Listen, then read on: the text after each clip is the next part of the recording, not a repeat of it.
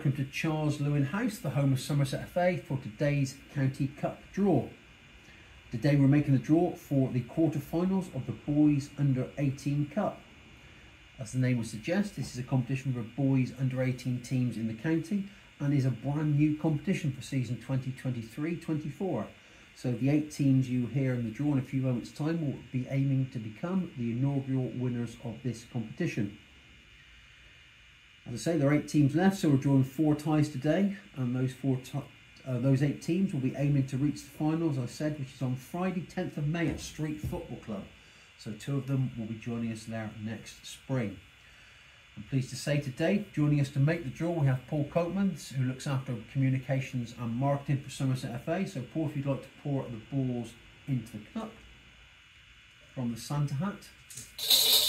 Paul does that, if you look to his immediate left, you will see our screen where the names of the teams will appear as we draw them out.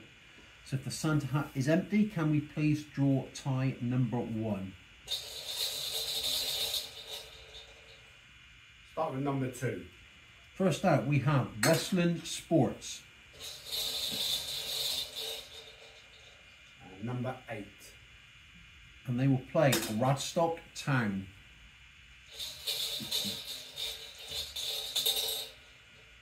Number six. Tie number two is Ashcott at home. And number one. And they will play Cheddar.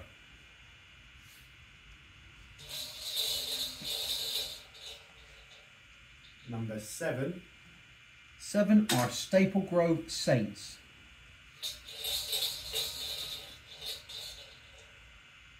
And number three. And they will entertain Perry Street. So two teams left, one tie to go. Are you going to be home or away if you've not heard your name so far? Uh, number five. That's Street. And last but certainly not least, Number four. we have Staplegrove Sinners. So that concludes the draw for the quarter-finals of the Boys Under 18 Cup. Ties to take place on Sunday 14th of January, although some ties may take place in the preceding week if both clubs agree. Good luck to everyone taking part when they do take place. Until then, I'd like to thank you all for joining us today and wish you all a very Merry Christmas, Happy New Year, and hopefully we'll see you next year for the semi-final draw. Until then, goodbye.